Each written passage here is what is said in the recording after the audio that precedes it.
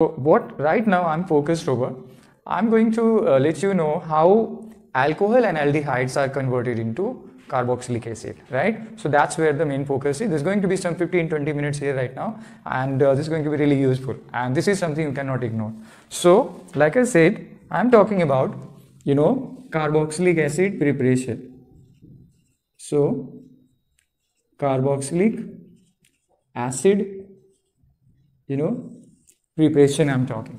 Now, you know, uh, the first which I'm, you know, concerned to do today is from is from aldehyde from aldehyde and alcohol. So basically I will talk first about the alcohol and then I will talk about the aldehyde part. So what I want to say that this something is, you know, uh, this is not something new. I have done in the previous section of, you know, uh, that alcohol, phenol and ether, but also in the initial section of this very chapter where actually things was related to how carboxylic acid can be produced. So what this is here, you know, this is what? Uh, the first reaction, you know, I want you to understand that when an alcohol, when an alcohol is treated with, you know, a strong oxidizing agent, if it's treated with strong oxidizing agent, you know, it directly converts into carboxylic acid it directly converts into carboxylic acid. However, this conversion proceeds through the aldehyde also. Right? Now the question is, you know, what this strong oxidizing agent can be? The first option I give you, you know, is KMnO4. The first option we have, option we have is KMnO4 and this KMnO4, you know, and uh, apart from that you can also use, you know, K2Cr2O7. Potassium dichromate is another option we have. Right? And the third option I remember is chromic oxide CrO3 CrO3 along with a small amount of sulfuric acid. Now, but you have to understand that this particular reagent is also called Jones reagent. This is also called Jones reagent. So, this is what, you know, strong oxidizing agent is. Now, another thing, you know, I would like to add here is that only primary alcohol, only primary alcohol primary alcohol you know gives you know carboxylic acid only the primary alcohol gives carboxylic acid carboxylic acid. Now the question is why only the primary carboxylic acid? If you remember from the previous section i have told you that you know the uh, if you take secondary alcohol or tertiary alcohol what will happen? The uh, secondary one will convert into ketone the secondary one will convert into ketone and the tertiary will uh, convert into alkene because tertiary alcohols are not possible to you know oxidize. So you need if you are not sure what i'm talking you have to go back and you know check out previous videos uh, in the same playlist you know i'm about to complete. So let me repeat back this you know uh, oxidation of alcohol converting into carboxylic acid only involves primary alcohol. You cannot take secondary alcohol because secondary alcohol converts into ketone and tertiary alcohol converts into alkene right? So that's something you need to find out on your own. Right now i'm concerned about this one. Now another option we have you know is like second option i'm talking about.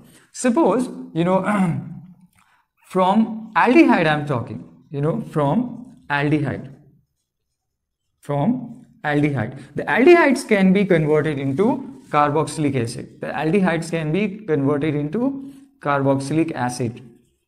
Carboxylic acid. But how many options are there? The first option you have, you know, is the Tollens reagent. Is the Tollens reagent which is a mild reducing agent. I have done enough, enough about this one. The second one you can use is the Fehling solution or Fehling reagent.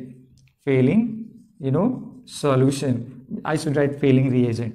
So Fehling reagent. So these are actually, you know, two of the mild, these are the two of the mild oxidizing agent and these are used to convert aldehyde into carboxylic acid. So let me isolate these two. If you use a strong carboxylic acid, alcohol can be directly converted into carboxylic acid. What are the options for the you know oxidizing agent? You have option KMnO4, you have K2Cr2O7 and you have Jones reagent also which is nothing but a combination of chromic oxide and sulfuric acid. Another very important thing is that these you know you know KMnO4 can be used under any condition under basic under basic acidic acidic or even neutral condition.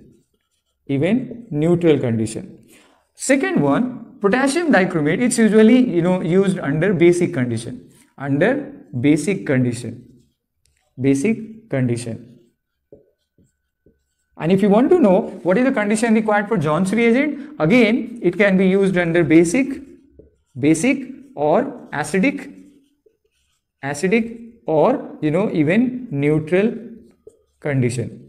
So this is what really very important is. You know, if you uh, if you are using alcohol as a raw material, you have to use a strong oxidizing agent because that strong oxidizing agent will convert the alcohol, you know, into carboxylic acid. However, this pathway goes through the aldehyde also.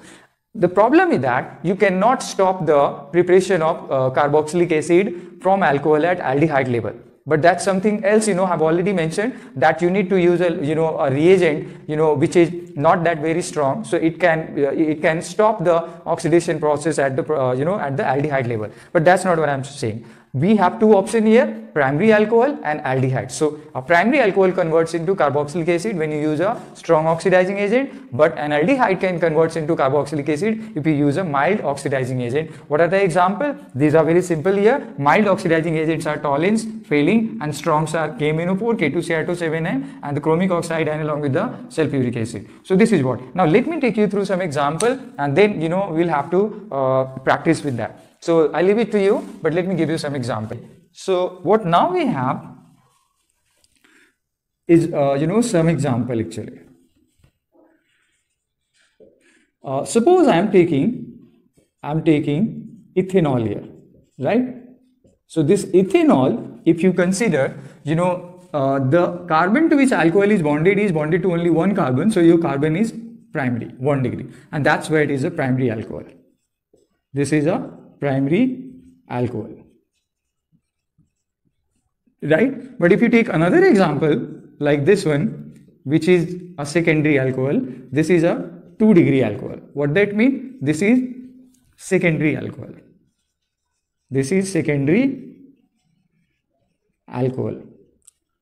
The problem is that if you use secondary alcohol for oxidation strong strong oxidizing agent agent and high temperature is required.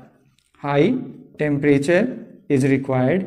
This does not convert carboxylic. This one converts you know ketone. I'm just you know putting through the product here which is going to be a ketone. So this will form a ketone. You cannot oxidize a secondary alcohol directly into carboxylic because it will convert into ketone. But a primary alcohol, if you use that KMNO4, like I said earlier, if you use KMNO4 under what condition? Under acidic condition or under basic condition? Under basic condition or neutral condition or neutral. Right? So this will convert into acetic acid. What this one convert into? This will convert into acetic acid which is also called ethanoic acid. Right? So you can take any primary alcohol but you cannot take secondary and tertiary, right? That's very important part here. And another here is that if you use a tertiary alcohol, something like this, if you use a tertiary alcohol, this is a tertiary alcohol. What happened? You know, oxidation is not possible.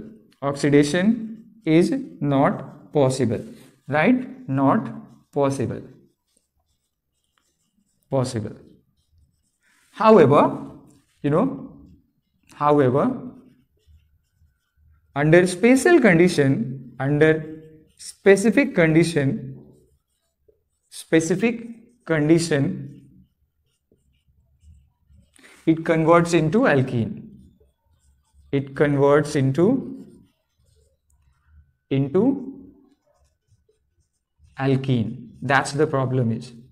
So the option we have from aldehyde and ketone is that we can use primary alcohol only and aldehyde. I tell you what exactly a phenol uh, cannot be converted into carboxylic acid because a phenol is a secondary one, right? So for converting the phenol into carboxylic acid to benzoic acid, it goes through a different pathway. So that equation is not, you know, important here. I'll tell you, you know, in uh, later section, right? So I would say, you know, I have to complete this right here.